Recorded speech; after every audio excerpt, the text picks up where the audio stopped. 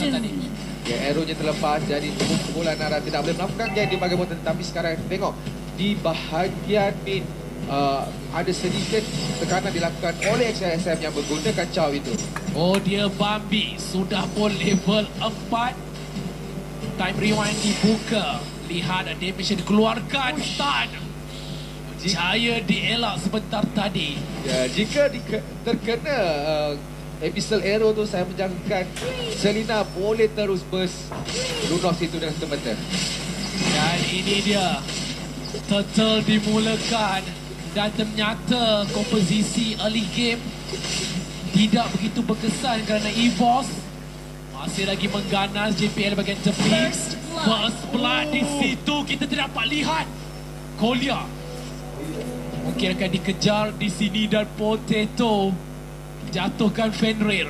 Ya, keadaan sangat bahaya bagi Nara sekarang kerana Selina Ferril telah dibunuh oleh Potato Hayabusa, main damage dealer kumpulan Emos.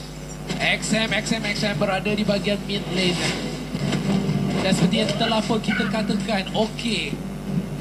Pasukan EVOS tidak memerlukan crowd control. Mereka hanya memerlukan kepantasan. Dengan menggunakan glorious pathway yang ada pada High Loss, dia boleh mengejar sesiapa pun. Ya, dan kalau uh, dan juga selain itu damage dikeluarkan oleh kumpulan EVOS sekali lagi oleh menggunakan Lonox.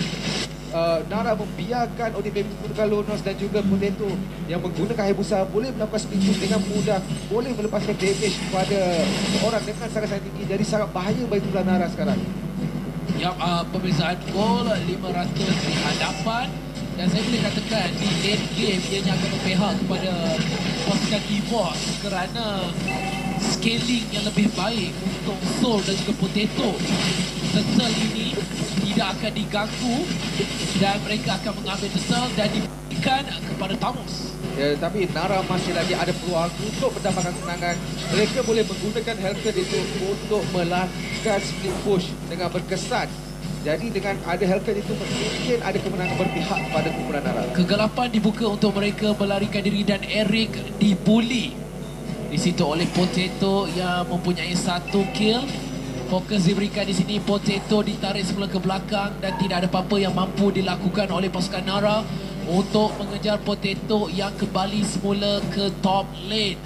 Ya dan kalau tengok Hayap stun telah terkena tetapi Ferril tidak masuk ke dalam untuk melepaskan damage yang selebihnya. Ya kerana daripada pandangan saya terlampau berbahaya untuk masuk terutamanya apabila ada high loss di tepi time bomb ditanam dan JPL makan bom tersebut.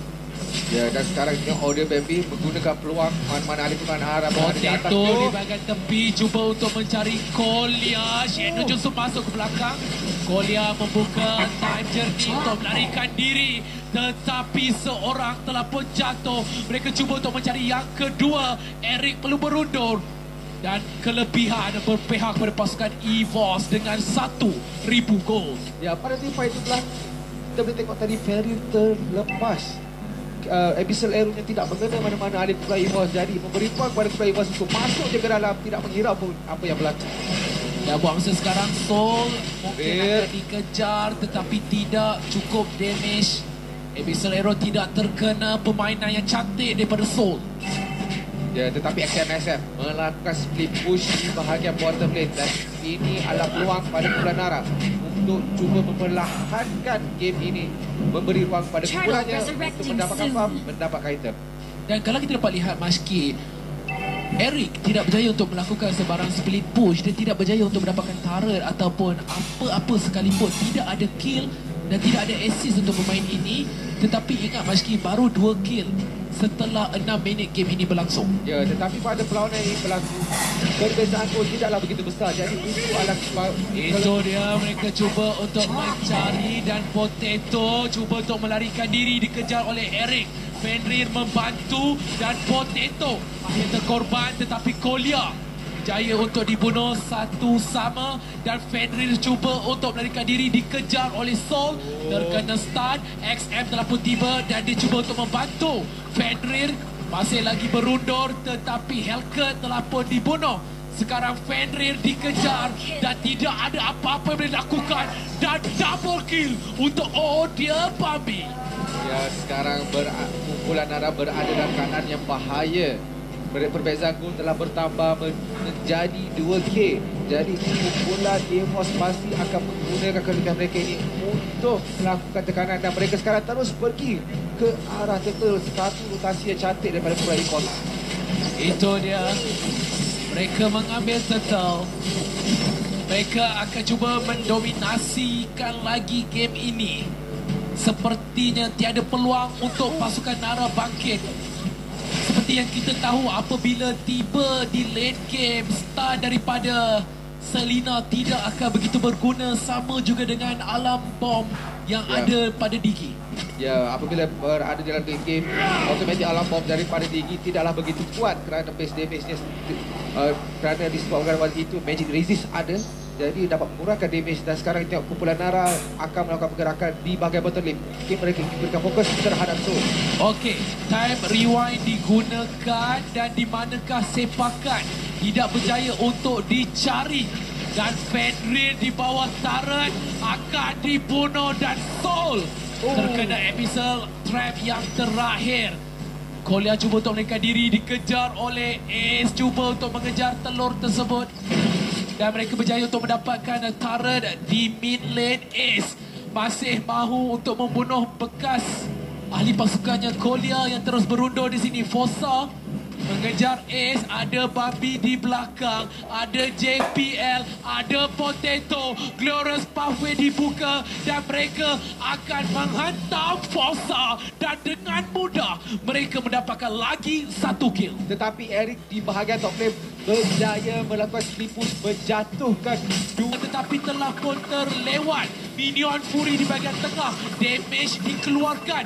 Potato berjaya untuk dibunuh. Juga mereka berjaya mendapatkan Grok Dua orang telah pun berjaya untuk dibunuh Tapi Soul Cuba untuk melarikan diri Tapi akan kembali dengan mana yang penuh.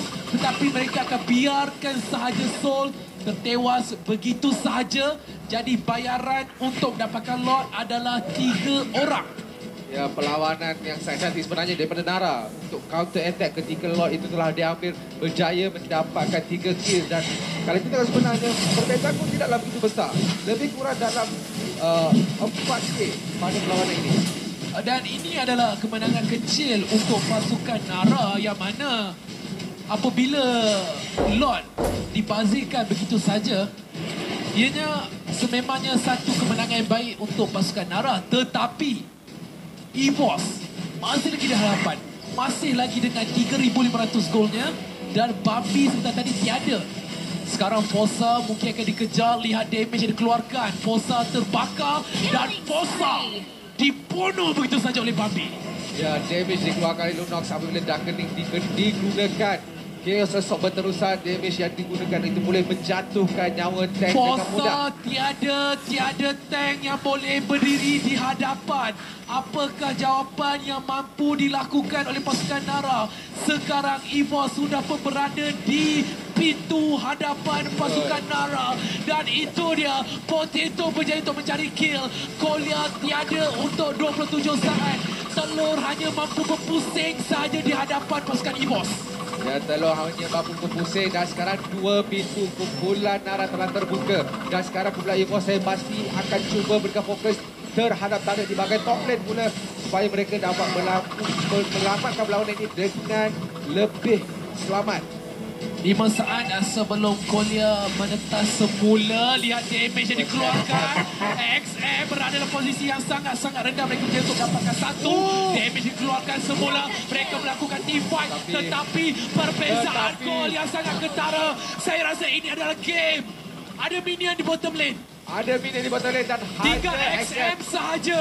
Saya tak rasa ia cukup. XM Oh, akan menjadi mangsa Dan What selamat tinggal Nara dan pasukan EVOS Dari tempat kelima Menewaskan Nara.